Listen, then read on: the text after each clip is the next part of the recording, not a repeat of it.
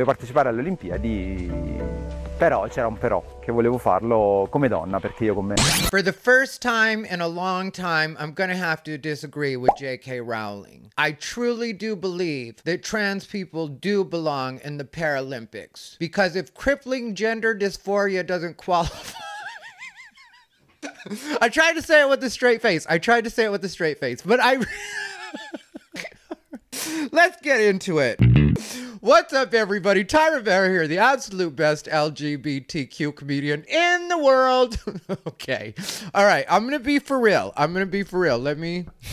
Let me straighten out my mic. I kind of did crack myself up on that one. And it's just because we're going to talk about this competitor that was in the Paralympics. And I did want to actually get into this because J.K. Rowling, in my opinion, is really doing a service because I really do feel like the Paralympics was just trying to get in on the transmania and be like, okay, well, maybe if we get a little bit of attention about this, pretending not to want attention about it. And then J.K.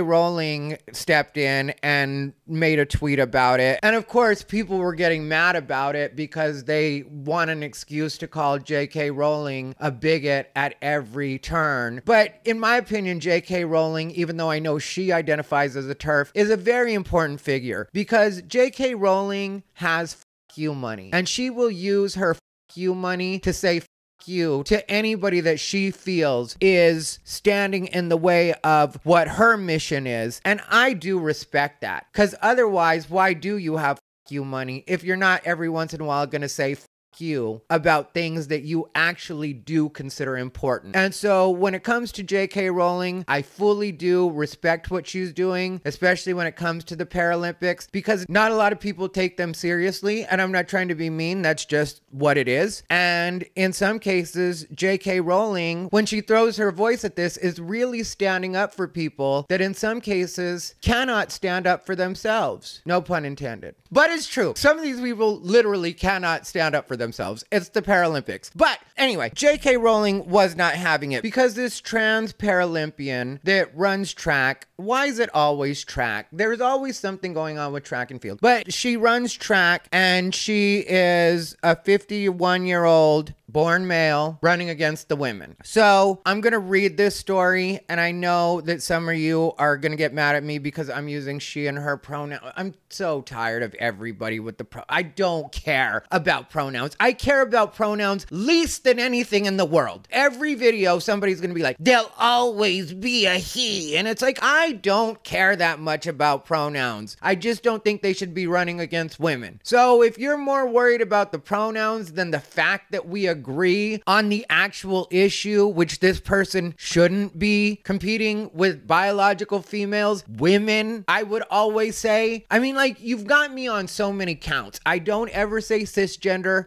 Not my thing. I'm very clear about knowing why that's a thing. So it's like split hairs if you want to. If you're that upset because I don't talk exactly the way that you want me to talk, stop following me now because I'm never going to talk 100% the way everybody wants me to talk. Jesus Christ. Let's get to the story already. I found this on MSNBC. That's where I found it. And I wasn't even looking for it this way, but it gives me exactly what I want, which is going to be the woke perspective because that's what they want us all to buy into is the woke perspective. And then the first article, literally the first article that came up when I googled it was MSNBC, which I didn't know how left-leaning MSNBC was. I always think of NBC as being a respectable and reputable. It was one of the big 3. You know, it used to be NBC, ABC, and CBS. When I was growing up, those were the major ones. Yeah, you had like PBS and whatever else, but those were the major. And so you expect unbiased news from news people. Whatever happened to unbiased news? Can we talk about that? Maybe that's just something I created in my head. The Berenstein or Berenstain Bears effect, or is it the Mandela effect? Whatever the effect is that makes you remember things differently than they actually were. Maybe I just thought that news was supposed to be unbiased. Maybe I just remember when I was younger, and I'm dating myself, Dan Rather and Tom Brokaw being more about just giving the news. The news were boring when I was growing up. That's what I remember. It wasn't like now where it's like everybody's got an opinion. And how about you just give me the story and let me extract what I need from it? How about you save the opinion? That's what you watch Andy Rooney for. Was it Andy Rooney that used to do 60 minutes? at the end. You know, I've gone off on so many tangents. Let's get to the story. So the headline, oh, it says opinion right there. God bless America. Well, leave it to me.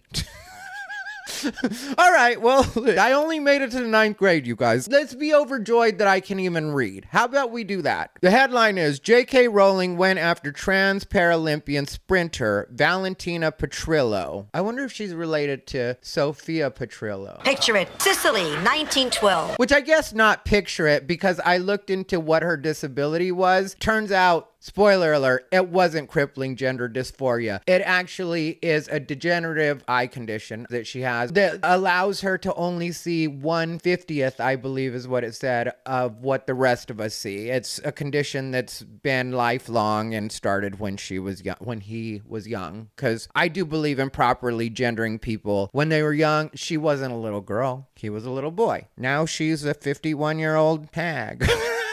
all right, all right, all right, all right, all right. Let me let me get it together. Headline: J.K. Rowling went after trans Paralympian Valentina Petrillo and failed. Debatable. I don't know that she failed. I haven't seen J.K. Rowling take a lot of L's to tell you the truth. A lot of times I agree with J.K. Rowling, but let's go on. If you thought J.K. Rowling was done ranting about transgender athletes now that the Paris Olympic Games have long been over, you'd be wrong. After taking about two weeks off from social media, the once beloved children's author was back at it this week, going on at length about 51 year old Valentina Petrillo, an Italian Paralympic sprinter who happens to be transgender. You're already getting on my nerves because the fact that she is transgender is why this is all going on. She's transgender in sports, which everybody has already let you know that we don't think is fair. The whole world has pretty much let you know that. But for some some reason, these governing bodies refuse to accept that. So making it seem like J.K. Rowling went after her because she happens to be transgender, transgender is the reason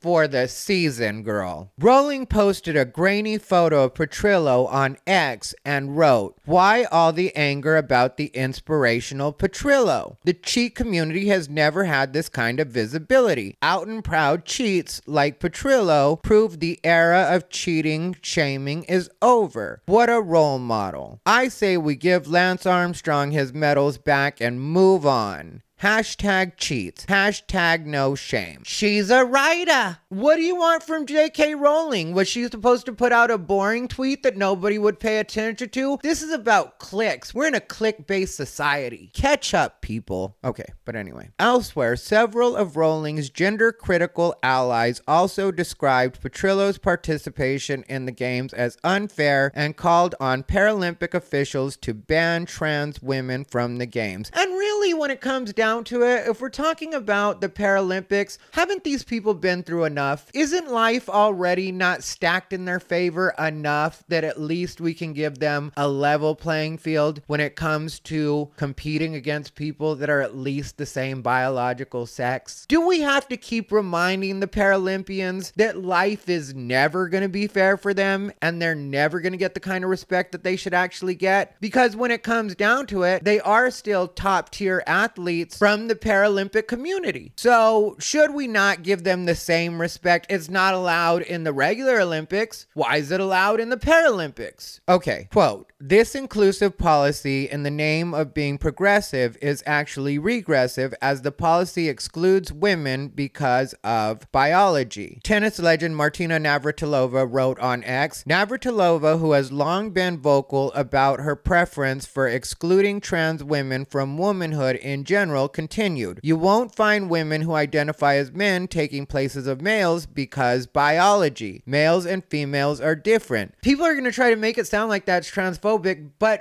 who knows better than Martina Navratilova, who not only top tier athlete for her entire adult life, possibly even when she was a kid. I don't know how old she was when she started, but we all know Martina Navratilova. Well, if you're over a certain age, some of the young kids may not. But we all know top tier athlete. Who would know better than Martina Navratilova? So even trying to make it sound like she was being transphobic when she says this kind of stuff, I really don't feel it is. I feel like it's her giving her expert opinion as a person who has competed at the top level. Also, I don't know what Martina Navratilova, this writer, is talking about, but she is an LGBTQ icon. She literally is an icon to our community. She was one of the first high visibility athletes, male or female, to really come out and just say, hey, I'm a lesbian, take it or leave it. Martina Navratilova kicked open a lot of closet doors and wet a lot of lesbian lips, if you ask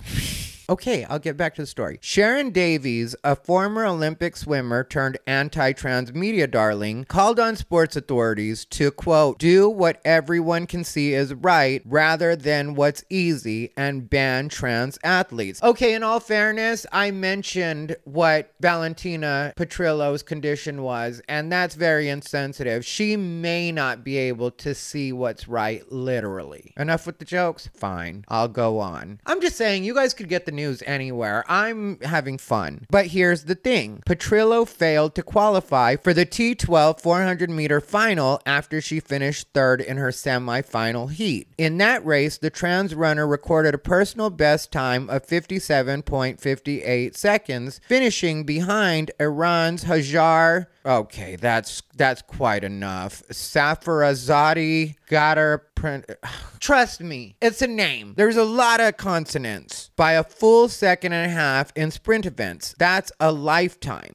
okay, so she didn't do well at all. This is the point. And people, I don't think, understand because they're not used to people being consistent anymore. J.K. Rowling isn't saying that males shouldn't compete with females unless they suck. She's saying under no circumstances should males compete with females. And this woman that they describe as an anti trans media darling, Sharron Davies, also a former Olympic swimmer, again, who is more qualified to speak on this than the actual athletes that used to compete or do compete? Who are we looking to if we're not looking to former top tier athletes and current top tier athletes? How is it anti trans to just tell the truth? Nothing bothers me more than things being considered anti because it's the truth. So the story goes on. Petrillo began her medical transition in 2019 after a long career winning para athletic national titles as a male athlete. Her times now are significantly slower than they were before, which suggests that the hormone change had a real impact on her athletic ability. Also, could be the fact that she's 51 now. It could be the combination of the two. And I think that this is a way of them trying to slowly shoehorn trans women into the regular Olympics and sports in general. Is you throw a couple sucky ones in there, a couple that are past their prime, a couple that are going to make it look like women can compete with trans women and it's a level playing field. And then when you start slipping in the good ones, the young ones, the ones that will actually dominate, then you can always fall back on, well, remember, we tried it and there were plenty of women that were able to beat the trans women. So biologically, and it's like, no, no, stop trying to do that. Now I'm beginning to see why the turfs are mad at me because you crack the door, they're going to try to kick it in. So, you know what? I take it back. Everything I said on Twitter, it was it was a mistake, it was an accident. I misjudged you turfs. I have your back 100%. I'm a turf.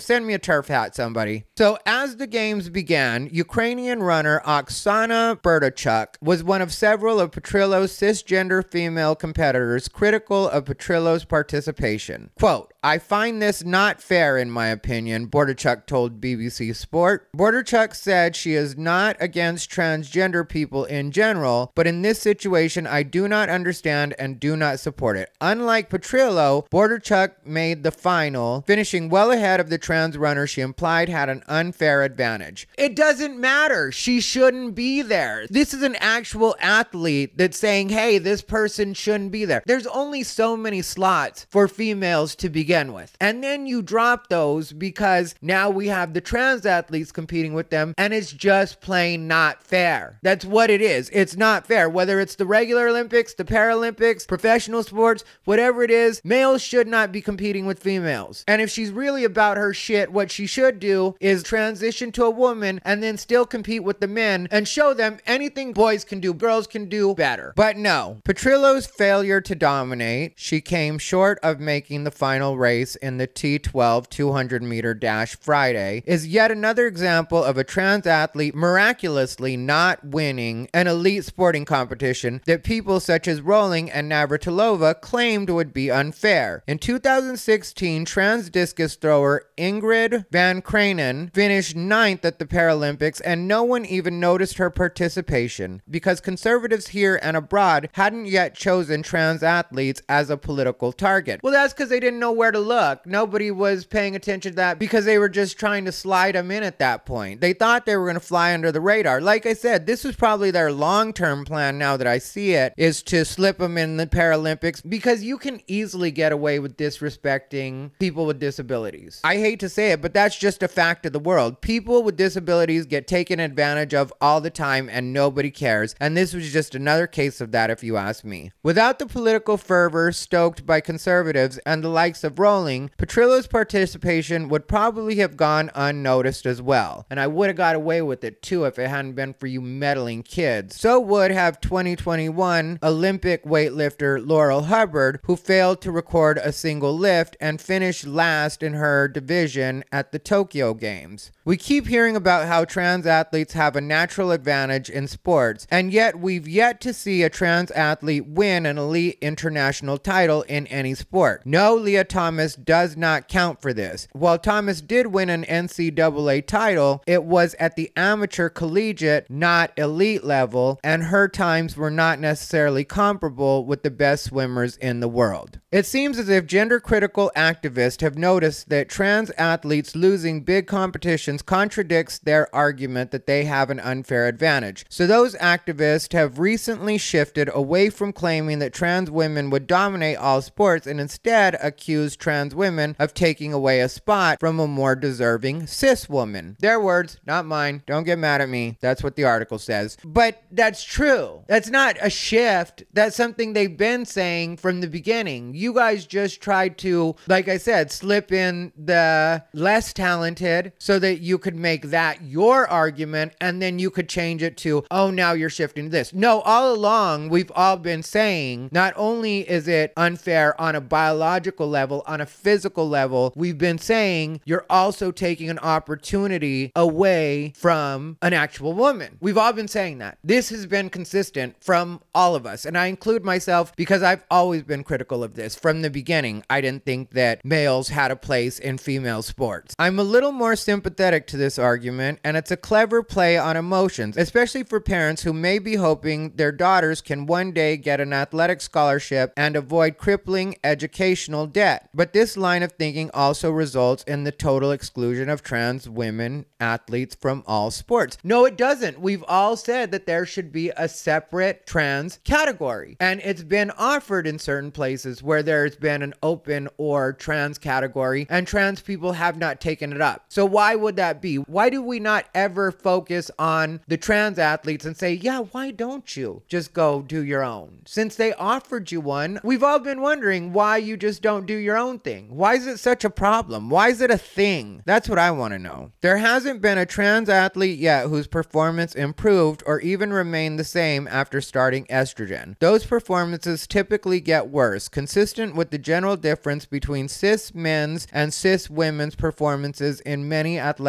measurements. There is no way to get fairness for trans athletes by forcing them to compete against cis men. Biology or not, that type of exclusionary policy would be a de facto ban on trans women athletes completely. Okay, so you're admitting that if the trans women that are on hormones have to compete with biological males, then they're not going to have a fair shot But then when you take biological males and put them against biological females, but the biological males are on estrogen, now it's a level playing field. Make it make sense. As we wrestle with these new ideas of sex and fairness, we must value transhumanity equally with cis people. The proof is in the pudding. Trans women are not dominating women's sports and never will. Petrillo's relatively poor performance on the track should put an end to Rowling's rage, but of course, Rowling is past the point of no return. She will seethe and rage about trans people for the rest of her life because she is a bigot. I truly don't believe that J.K. Rowling is a bigot. I, in my heart of hearts, do think that J.K. Rowling is just using her platform to stand up for something that she does believe in, and that's the difference between male and female, man and woman. I don't know when that became a controversial stance, but I don't know how it helps, especially trans people. Because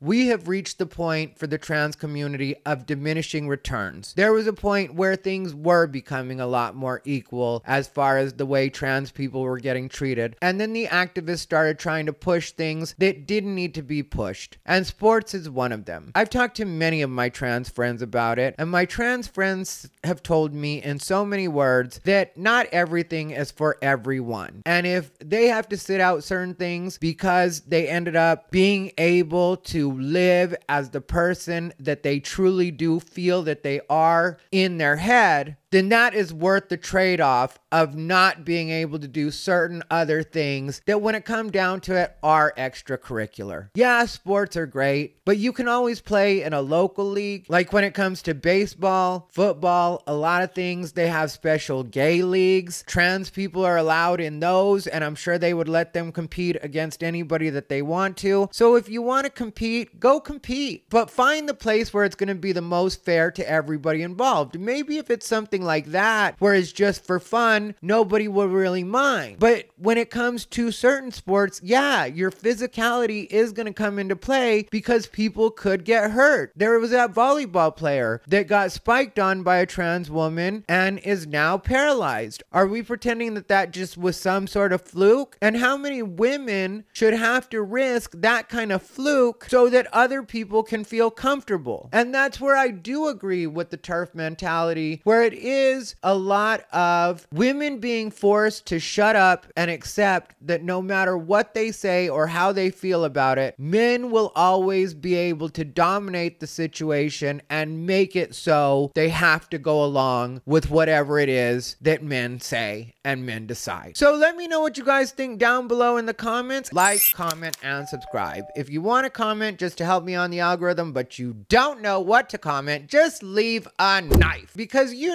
know the Paralympic trans community is going to come for my neck. And if you get a chance and you want to see some of the craziness that's going on with TikTok, our good old buddy Roger is back at it again. And you can see that right here. Anyway, this has been Thai Rivera, the absolute best LGBTQ comedian in the world. They bought into his bullshit.